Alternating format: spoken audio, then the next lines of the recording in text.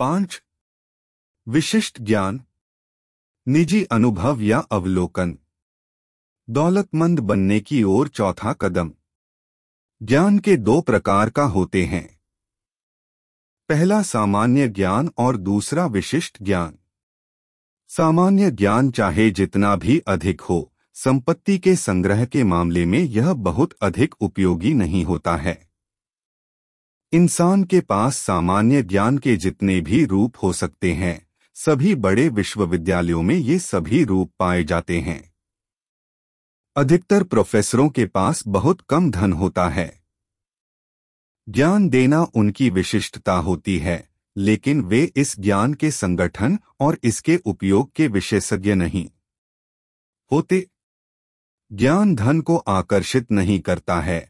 जब तक कि धन को अर्जित करने का लक्ष्य न बनाया जाए तथा इस लक्ष्य को प्राप्त करने के लिए कार्य की व्यवहारिक योजना बनाकर इस ज्ञान को संगठित न किया जाए और बुद्धिमानी पूर्वक इसका प्रयोग न किया जाए।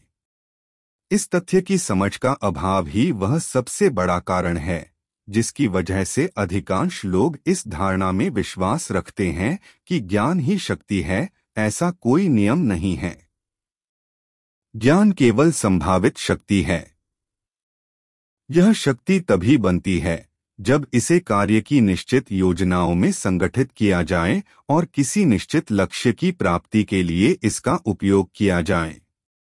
शिक्षा के सभी तंत्रों में मिसिंग लिंक यही है कि शैक्षणिक संस्थाएँ अपने विद्यार्थियों को यह सिखाने में असफल रहती हैं कि ज्ञान के हासिल हो जाने के बाद वे अपने ज्ञान को संगठित कैसे करें तथा उसका उपयोग कैसे करें। कई लोग यह मानने की गलती करते हैं कि चूँकि हेनरी फोर्ड बहुत कम समय के लिए स्कूल गए थे, इसलिए उनके पास शिक्षा कम थी। जो लोग यह गलती करते हैं वे दरअसल शिक्षा का सही अर्थ नहीं समझ पाए हैं। एजुकेशन शब्द लैटिन शब्द एजुको से बना है, जिसका अर्थ है बाहर लाना या अंदर से विकसित करना।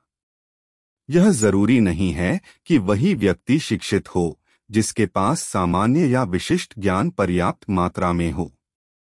शिक्षित आदमी वह होता है, जिसने अपने मन को इस तरह से विकसित कर लिया है कि वह जो चाहता है उसे हासिल कर सकता है, और इस प्रक्रिया में वह दूसरों को कष्ट नहीं पहुंचाता है।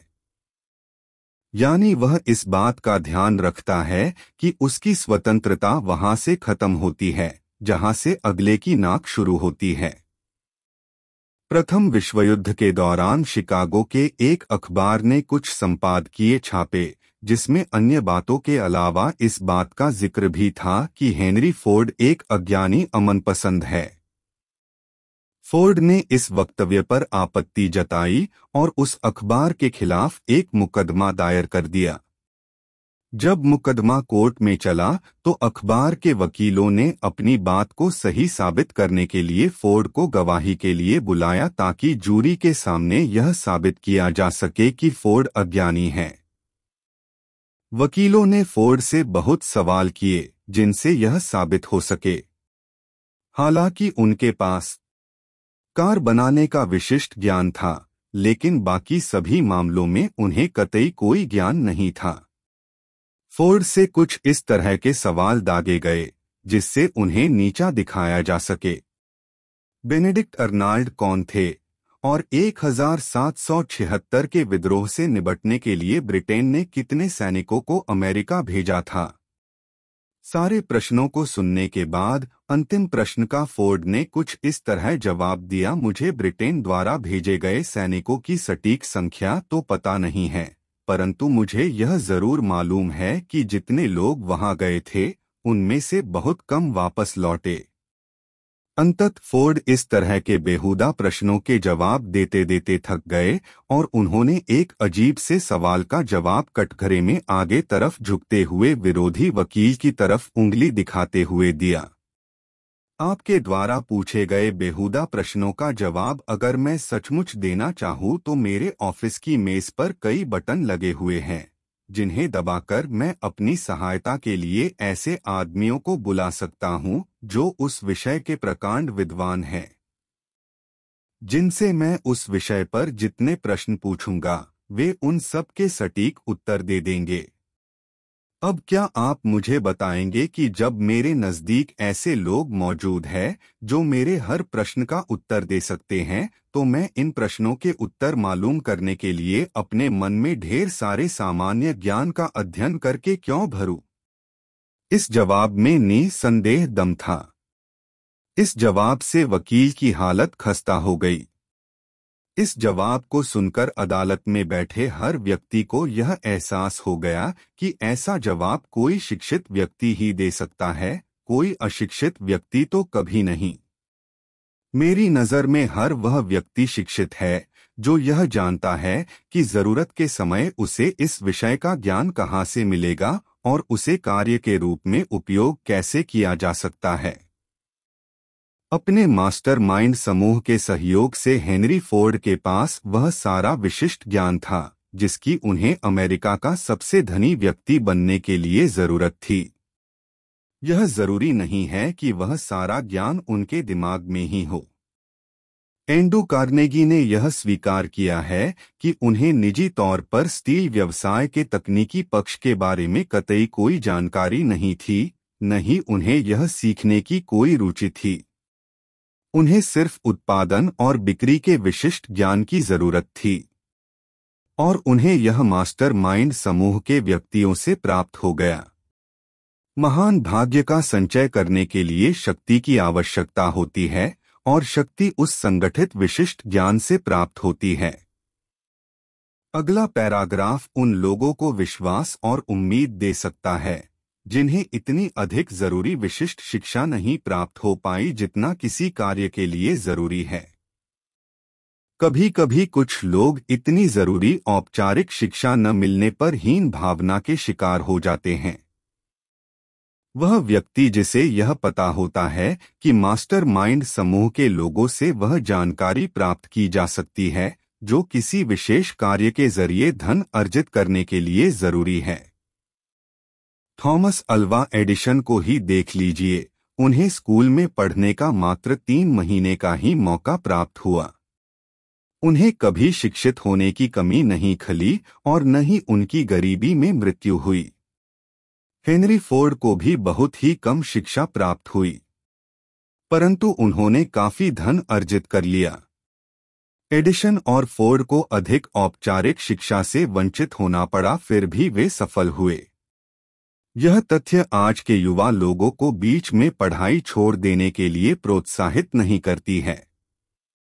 आज के दौर में व्यापार की अच्छी शुरुआत करने के लिए एक नियत औपचारिक शिक्षा की खास ज़रूरत होती है। बेशक ये लोग अपवाद है।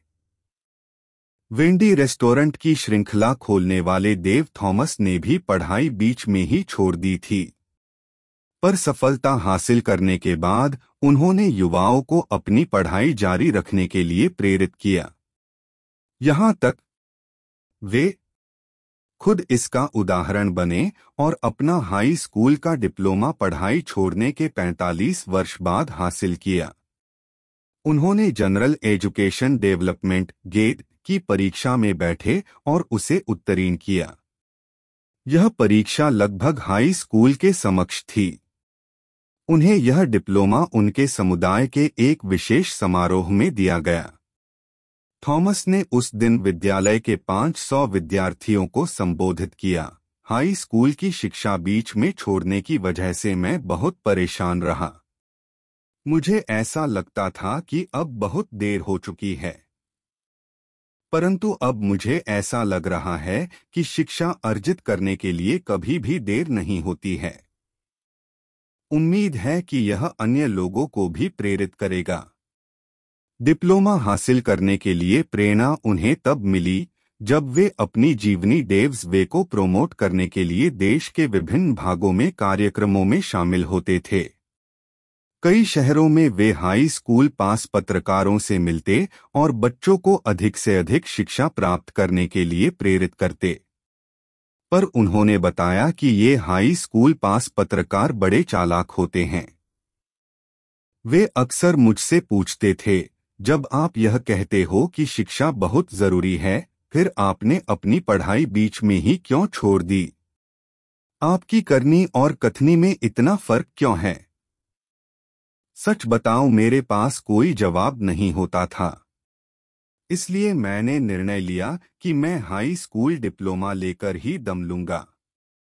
अब उनका उद्देश्य उन लोगों को शिक्षा जारी रखने के लिए बढ़ावा देना है, जिन्होंने किसी कारणवश बीच में ही पढ़ाई छोड़ दी है। क्योंकि शिक्षा हासिल करने के लिए कभी देर नहीं होती है। मैं लोगों को बताता हूँ कि अपनी उतनी पढ़ाई कर ले जितनी आप कर सकते हैं। मैंने पढ़ाई छोड़ने के 45 वर्षों के बाद डिप्लोमा हासिल किया। सच ही तो है, शिक्षा हासिल करने के लिए कभी देर नहीं होती, थॉमस ने आगे जोड़ा, अब तक मेरे ज़िंदगी में प्राप्त उपलब्धियों में यह सबसे महत्वपूर्ण उपलब्धि है। यह जानना ज़रूरी है कि ज्ञान को कैसे खरीदा जाए। सबसे पहली बात तो यह है कि आप यह जान ले कि आपको किस विशिष्ट ज्ञान की ज़रूरत है। साथ ही आपको यह भी पता होना चाहिए कि आप उस ज्ञान से कौन सा लक्ष्य हासिल करना चाहते हैं। बहुत हद तक जीवन में आपका प्रमुख लक्ष्य वह लक्ष्य है जिसके लिए आप काम कर रहे हैं। यह तय करेगा कि आपको किस ज्ञान की आवश्यकता है। इस प्रश्न का जवाब मिल जाने के बाद आपका अगला कदम यह होगा कि आप वह सही जानकारी हासिल कर ले और इस ज्ञान के विश्वसनीय स्रोतों को खोजें। इनमें से अधिक महत्वपूर्ण है। एक, अपना अनुभव और शिक्षा। दो, दूसरों के सहयोग मास्टर माइंड सहयोग के द्वारा उपलब्ध अनुभव शिक्षा। तीन, कॉलेज और यूनिवर्सिटी। चार सार्वजनिक पुस्तकालय इंसान ने अब तक जितना ज्ञान हासिल किया है, वह सारा ज्ञान पुस्तकों और पीरियोडिकल्स के द्वारा हासिल किया जा सकता है। पाँच विशेष प्रशिक्षण कोर्स, खास तौर पर नाइट स्कूल और होम स्टडी स्कूल्स, जब ज्ञान हासिल किया जाए, उसके बाद अपने निश्चित लक्ष्य के लिए योजना बनाकर इस प्रयोग में लाया जाए। ज्ञान का कोई मूल्य ज्ञान की ज़रूरत है। फिर यह जाने कि वह विशिष्ट ज्ञान आपको किन विश्वसनीय स्रोतों से मिल सकता है। तो हर क्षेत्र में सफल लोग अपने प्रमुख लक्ष्य, बिज़नेस या प्रोफेशन से संबंधित विशिष्ट ज्ञान हासिल करते ही रहते हैं। यह सिलसिला कभी खत्म नहीं होता। जो लोग सफल नहीं है, वे आम तौर पर इस गलतफहमी के शिकार होते हैं कि स्कूल की पढ़ाई खत्म होने के बाद सीखने का दौर समाप्त हो जाता है। सच्चाई यह है कि स्कूल की पढ़ाई तो सिर्फ़ विद्यार्थी को वह रास्ता भर है, जिसके द्वारा व्यवहारिक ज्ञान हासिल किया जा सकता है। आज का युग विशिष्टता का युग है। कोलंबिया यूनिवर्सिटी के placement director Robert P. Moore ने इस सच्चाई को एक अखबार में रेखांकित किया था। कई वर्षों बाद रोज़गार देने वाले कंपनी के सलाहकारों ने बताया कि नियोक्ता, जो कैंपस में नौकरी के लिए छात्रों को हायर करने जाते हैं, वे किसी विशेष क्षेत्र जैसे business management, computer science, mathematics, chemistry जैसे विषयों की पढ़ाई किए होते हैं उन्हें तवज्जो देते हैं। क्योंकि ऐसे व्यक्तियों को बड़ी जल्द ही उत्पादन में लगाया जा सकता है, बजाय उन विद्यार्थियों के जिन्होंने कला की व्यापक किंतु उत्पादन के लिहाज से अनुपयोगी पढ़ाई की है। कई ऐसे विद्यार्थी होते हैं, जिनमें बहुत योग्यता होती है, पर 18 से 20 वर्ष की उम्र में वे निश्चित नहीं होते, जिस वजह से वे किसी विशिष्ट कोर्स को नहीं चुन पाते हैं। जिससे उनका करियर बन सके। इनमें से कई लोगों ने ग्रेजुएशन में विविध पढ़ाई करने के बावजूद पोस्ट ग्रेजुएशन में करियर उपयोगी शिक्षा हासिल कर सकते हैं। इस पुस्तक के युवा पाठकों को किसी करियर उपयोगी कोर्स के लिए तब तक नहीं भागना चाहिए, जब तक वे इसके अवसरों और नुकसान की संपूर्ण जानकारी नहीं हासिल कर लेते हैं। कई यूनिवर्सिटी और कॉलेज इन सभी के बारे में गाइडेंस उपलब्ध कराते हैं, जिससे विद्यार्थी अपने लिए सही निर्णय ले सके। अगर ऐसी कोई भी सुविधा उपलब्ध नहीं है तो विद्यार्थियों को इन क्षेत्रों के बारे में अधिक से अधिक पढ़ना चाहिए और अधिक से अधिक उन लोगों से बात करनी चाहिए, जो इस तरह के क्षेत्र में कार्यरत है। हर करियर को यूनिवर्सिटी डिग्री की ज़रूरत नहीं होती। आज के दौर में कुछ अलग तरह के ट्रेनिंग कोर्स भी उपलब्ध है। कई यूनिवर्सिटी ने उन लोगों के एजुकेशन प्रोग्राम शुरू किए हैं, जिन्हें करियर, उपयोगी ज्ञान की ज़रूरत है। कुछ सर्टिफिकेट प्रोग्राम भी उन लोगों के लिए चलाती है, जिन्हें अपनी कौशल को अतिरिक्त उपयोगी बनाना होता है। ये कोर्स अधिकांशतः शाम को या फिर सप्ताहांत में दिए जाते हैं जिससे नौकरी पेशा करने वाला व्यक्ति भी शामिल हो सके। होम स्टडी प्रोग्राम को डिस्टेंस लर्निंग प्रोग्राम के नाम से जाना जाता है, जो पत्राचार या फिर इंटरनेट के माध्यम से उपलब्ध होते हैं। इस तरह की शिक्षा का सबसे बड़ा फ़ायदा यह होता है कि आपके पास जब भी वक्त हो आप पढ़ सकते हैं। अगर इस तरह के कोर्स सावधानी से चुने गए हैं तो ये आपको स्पष्टीकरण और अधिक जानकारी के लिए मेल में बहुमूल्य उपयोगी शिक्षा उपलब्ध कराते हैं। इससे कोई फ़र्क नहीं पड़ता कि आप कहाँ रहते हो। अगर आपके पास स्वयं का अनुशासन है तो आप इन प्रोग्राम से वह विशिष्ट ज्ञान अर्जित कर उस बर्बाद हुए अवसर की भरपाई कर सकते हैं, जो स्कूलिंग के समय पर मुफ़्त में उपलब्ध थी। होम स्टडी प्रोग्राम खासकर उन लोगों के लिए है, जो फिर स्कूल जाकर नहीं पढ़ सकते और नौकरी करते हुए अतिरिक्त विशिष्ट ज्ञान अर्जित सकते हैं। आजकल लगातार बदल रही अर्थव्यवस्था के कारण यह हज़ारों लोगों के लिए बहुत ज़रूरी हो गया है कि उनके पास पैसा कमाने के अन्य साधन भी होने चाहिए। ऐसा कब समय आ जाए कि उन्हें नौकरी से हाथ गंवाना पड़े और उन्हें नई नौकरी की तलाश करनी पड़ जाए? कभी कभी कोई सामान नहीं बिक रहा होता है तो अच्छा व्यापारी उसे सामान को उस दूसरे प्रोडक्ट के साथ बेच देता है, जिसकी अधिक डिमांड होती है। अगर उनकी सर्विस अपेक्षित परिणाम नहीं दे पा रही है तो उन्हें अपने प्लान में बदलाव करने की ज़रूरत होती है, जहाँ से उन्हें बेहतर परिणाम हासिल हो सके। जिन लोगों ने स्कूलिंग के बाद सीखना छोड़ दिया, वे लोग संपूर्ण जीवन मध्यम वर्गीय जीवन यापन करते हैं। सफलता का द्वार लगातार सीखने के रास्ते से खुलता है। आइए एक विशिष्ट उदाहरण लेते हैं। ग्रोसरी स्टोर के एक सेल्समैन ने अचानक अपने आप को बेरोजगार पाया। क्योंकि उसके पास बुककीपिंग का कुछ अनुभव था, इसलिए उसने अकाउंटिंग का कोर्स किया।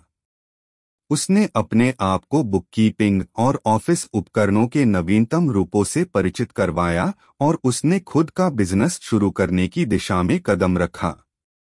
उसने अपने काम की शुरुआत उसी ग्रॉसर से की, जिसके लिए वह पहले काम किया करता था।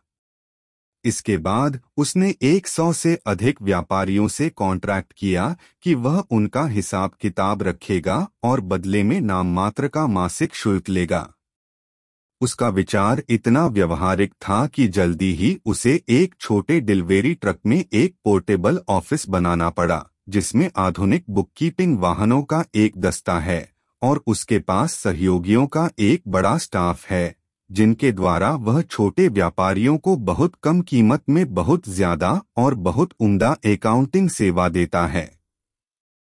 विशिष्ट ज्ञान और कल्पना वे तत्व थे, जिनके कारण यह अद्भुत एवं सफल बिज़नेस बन पाया। पिछले साल इस बिज़नेस के मालिक ने जितना इनकम टैक्स चुकाया, वह उस आदमी से दस गुना था, जो उसे तब होती थी, जब वह ग्रॉसरी की दुकान में सेल्समैन हुआ करता था। इस सफल बिज़नेस की शुरुआत सिर्फ़ एक विचार से हुई। बेरोजगार सेल्समैनों को यह विचार देने के बाद मैं अब एक और विचार देना चाहता हूँ, जिसमें इससे भी ज़्यादा आमदनी की संभावना है। यह विचार उस सेल्समैन द्वारा सुझाया गया था, जिसने सेलिंग छोड़ दी और वह होलसेल स्तर पर बुककीपिंग के बिज़नेस में गया। जब उसकी बेरोजगारी की समस्या के बारे में यह प्लान सुझाया गया तो उसने तुरंत कहा, मुझे विचार पसंद आया, परंतु मैं नहीं जानता कि इसे में कैसे बदला जाए। दूसरे शब्दों में उसने शिकायत की कि बुककीपिंग का ज्ञान हासिल करने के बाद उसे यह मालूम नहीं था उसकी मार्केटिंग कैसे की जाए। इसलिए उसने एक और समस्या की, जिसे सुलझाया जाना था। एक युवा महिला टाइपिस्ट की मदद से इसने पूरी कहानी लिखी और एक बहुत आकर्षक पुस्तक तैयार की, जिसमें बुककीपिंग के नए सिस्टम के लाभों का वर्णन किया गया था। सभी पृष्ठों को सुंदरता से टाइप किया गया और एक साधारण स्क्रैप बुक में लगा दिया गया। जिसमें नए बिज़नेस की कहानी इतने प्रभावी ढंग से कही गई थी कि इसके मालिक के पास इतने ज़्यादा अकाउंट आ गए कि उन्हें संभालने में उसे बड़ी मशक्कत करनी पड़ी। देश भर में ऐसे हज़ारों लोग हैं, जिन्हें ऐसे मार्केटिंग विशेषज्ञ की सेवाओं की ज़रूरत है, जो उनकी व्यक्तिगत सेवाओं की मार्केटिंग कर सके और उनके लिए एक आकर्षक बायोडाटा तैयार कर सके। यहाँ पर जो विचार दिया जा रहा है, वह आवश्यकता की उपज था, आपातकालीन परिस्थिति में उठाया गया कदम था, परंतु इससे एक से अधिक लोगों का भला हुआ। वह महिला जिसके दिमाग में यह विचार आया, उसकी कल्पना शक्ति बहुत पैनी थी। उसने तत्काल समझ लिया कि इस विचार में एक नए प्रोफेशन को शुरू करने की ताकत थी। जिसके द्वारा उन हज़ारों लोगों के सेवा की जा सकती थी, जिन्हें व्यक्तिगत सेवाओं की मार्केटिंग करने के लिए प्रैक्टिकल मार्गदर्शन की ज़रूरत थी। जब इस महिला को व्यक्तिगत सेवाओं की मार्केटिंग करने के अपने पहले प्लान में तत्काल सफलता मिली तो उसे प्रेरणा मिली।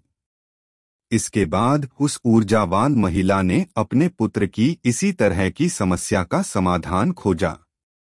उसका पुत्र अभी अभी कॉलेज से निकला था, परंतु उसे नौकरी नहीं मिल पा रही थी। उस महीने ने अपने पुत्र के लिए जो मार्केटिंग प्लान बनाया, वह व्यक्तिगत सेवाओं को बेचने का मेरे द्वारा लिखा गया सर्वश्रेष्ठ उदाहरण है। जब प्लान पुस्तिका पूरी हुई तो इसमें टाइप किए हुए पचास पेज थे और संपूर्ण जानकारी दी गई थी। इस प्लान पुस्तिका में यह भी बताया गया था कि उसके पुत्र को किस तरह का पद चाहिए। इसके अलावा इसमें यह भी स्पष्ट रूप से बताया गया था कि वह उस पद पर किस तरह काम करेगा। प्लान पुस्तिका की तैयारी में कई सप्ताह की मेहनत लगी, जिस दौरान उस महिला ने अपने पुत्र को हर दिन सार्वजनिक लाइब्रेरी में भेज जहाँ से वह अपनी नौकरी से जुड़ी हुई सर्वश्रेष्ठ किताबों से डाटा लेकर आता। उसने अपने पुत्र को उसके संभावित नियोक्ता के सभी प्रतियोगियों के पास भी भेज और यह महत्वपूर्ण जानकारी हासिल करवाई कि उनके लिए बिज़नेस की कौन सी विधियाँ महत्वपूर्ण है। प्लान बनाने में यह जानकारी बहुत महत्वपूर्ण साबित हुई क्योंकि इसके द्वारा यह जाना गया कि वह अपने अपेक्षित पद पर किस तरह काम करेगा। जब प्लान बनकर तैयार हो गया तो इसमें आधा दर्जन से अधिक श्रेष्ठ सुझाव थे, जिनके द्वारा संभावित नियोक्ता को लाभ हो सकता था और उसका बिज़नेस को बेहतर बन सकता था। आपकी इच्छा हो सकती है कि आप पूछे नौकरी हासिल करने के लिए इतनी मशक्कत करने की क्या ज़रूरत है। इसका जवाब यह है, किसी काम को अच्छी तरह से करने में थोड़ी मशक्कत हो जाती है तो कोई बुरा नहीं है। उस महिला ने अपने पुत्र के हितों को ध्यान में रखते हुए जो प्लान बनाया उससे उसे पहले ही इंटरव्यू में वह नौकरी मिल गई, जिसके लिए उसने आवेदन किया था और उसे वही वेतन दिया गया, जो उसने मांग था। यही नहीं, इससे भी ज़्यादा महत्वपूर्ण बात यह है कि उसे नीचे के स्टार से शुरुआत नहीं करनी पड़ी। उसने जूनियर एग्जीक्यूटिव के पद पर एग्जीक्यूटिव की तनख्वाह पर अपना कैरियर शुरू किया। इतनी मशक्कत क्यों करना? इसलिए क्योंकि अगर इस युवक ने नीचे से शुरुआत की होती और उसने निरंतर तरक्की की होती तो उसे इतने ऊपर उठने में कम से कम दस साल का समय लगता, जबकि सुनियोजित प्रस्तुति की वजह से उसे एक ही झटके में वह नौकरी मिल गई। नीचे से नौकरी शुरू करना और ऊपर के पदों पर निरंतर तरक्की करने का विचार हालाँकि दमदार नज़र आता है, परंतु इसमें सबसे बड़ी आपत्ति यह है। ज़्यादातर लोग नीचे से शुरुआत करते हैं और वे अपने सर को इतना ऊपर नहीं उठा पाते कि अवसर उन्हें देख पाए और इसलिए वे हमेशा नीचे ही बने रहते हैं। हमें यह भी याद रखना चाहिए कि नीचे से जो दृश्य दिखता है वह इतना आकर्षक नहीं होता। इसमें महत्वाकांक्षा का गला घुटने की प्रवृत्ति होती है।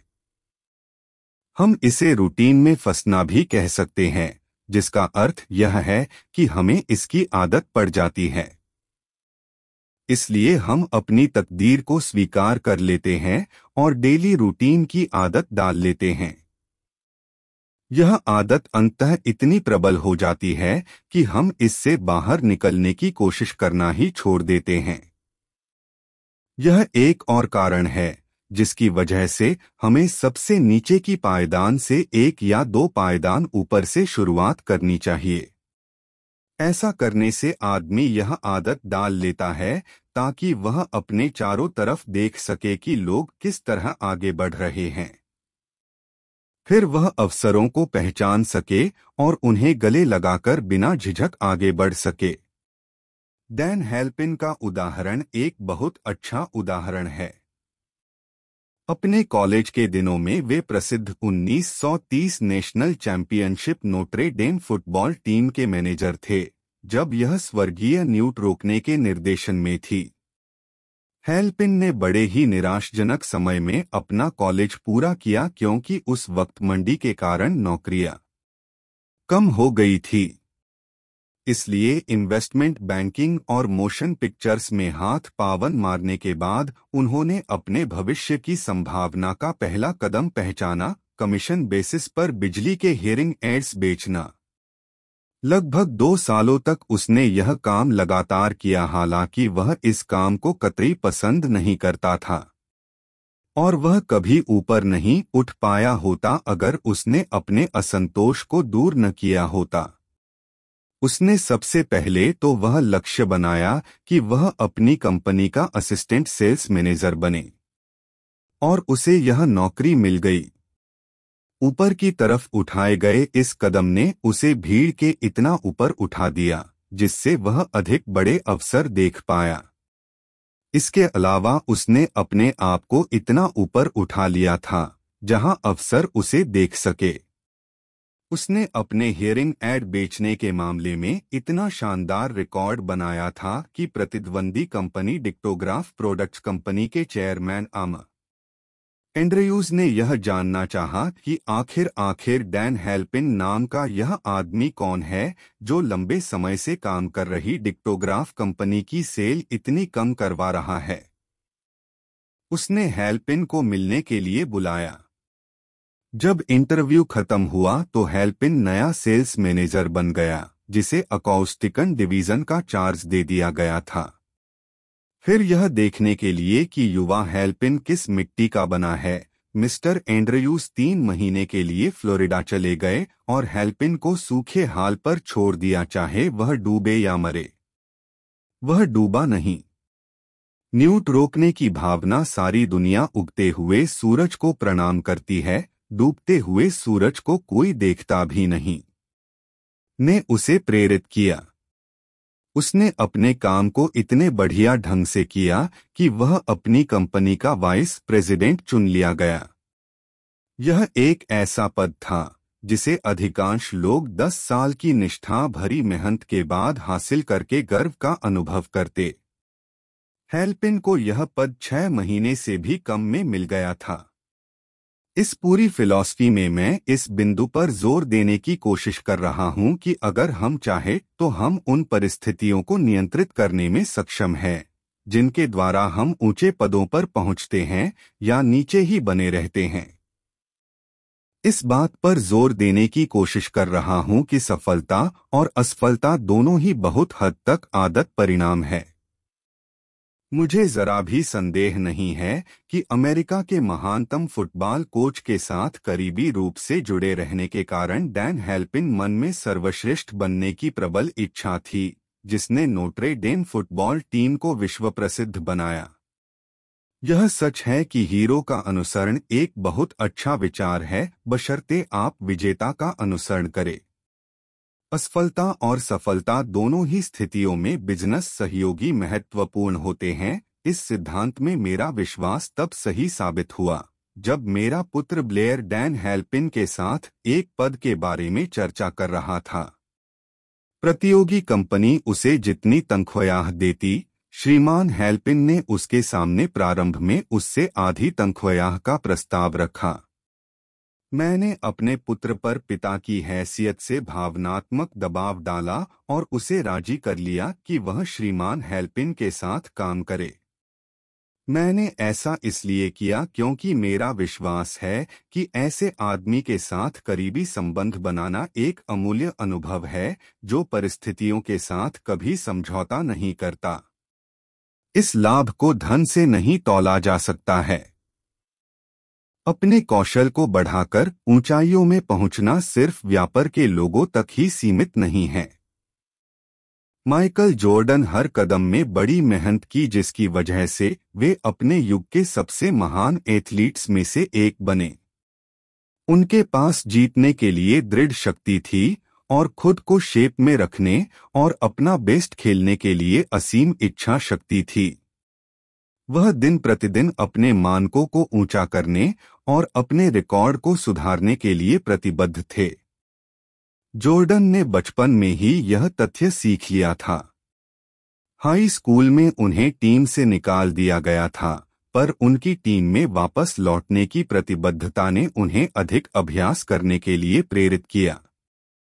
जो वे आज भी अनुसरण करते हैं। वे हर कदम को चुनौती की तरह लेते हैं और हर नए वर्ष को उम्मीदों की तरह स्वागत करते हैं। खेल से कुछ वर्ष दूर रहने के पश्चात जब उन्होंने बास्केटबॉल में वापसी की तो उनके आलोचकों ने कहना शुरू कर दिया कि उनका शिखर का वक्त जा चुका है, अब वे धीरे पड़ गए हैं और कोई भी चैंपियनशिप जीत नहीं सकते। उन्होंने इस आलोचना को चुनौती की तरह लिया। वे और अधिक मेहनत करने लगे, हमेशा से अधिक। उन्होंने पर्सनल ट्रेनर के साथ एक वर्ष का ट्रेनिंग प्रोग्राम प्लान किया। अपने जिम पर और अधिक मेहनत करने लगे। उन्होंने पाया कि जैसे जैसे आगे बढ़ते हो वैसे वैसे शरीर के लक्षण आपको बताने लगते हैं कि शरीर को किस तरह ऐसे शेप में लाया जा सकता है, जिससे चैंपियनशिप स्तर पर लगातार खेला जा सके। परिणाम बहुत बढ़िया निकले। जॉर्डन ने अपनी टीम को उन्नीस सौ छियानवे और उन्नीस सौ सत्तानवे के चैंपियनशिप में जीत दिलाई और खुद दोनों ही वर्ष मोस्ट वलुएबले प्लेयर का खिताब भी ले गए। माइकल जॉर्डन की दृढ़ता हमें यह सिखाती है कि किसी तरह प्रतिबद्ध होकर अपने उम्र और अपने आलोचकों से आगे बढ़ा जा सकता है। प्रतिबद्धता सिर्फ़ पहला कदम है। इसके बाद कठिन परिश्रम, शारीरिक और मानसिक व्यायाम भी बहुत ज़रूरी है, जो आपको शिखर पर पहुँचा सकता है। नीचे से शुरू करना ठीक नहीं है। किसी भी आदमी के लिए निकाल स्थान बोरियत भरा, भयावह और लाभहीन स्थान है। इसलिए मैंने इस बारे में इतने विस्तार से बताया है कि अगर सही योजना बनाई जाए तो नीचे शुरुआत करने को किस तरह रोका जा सकता है?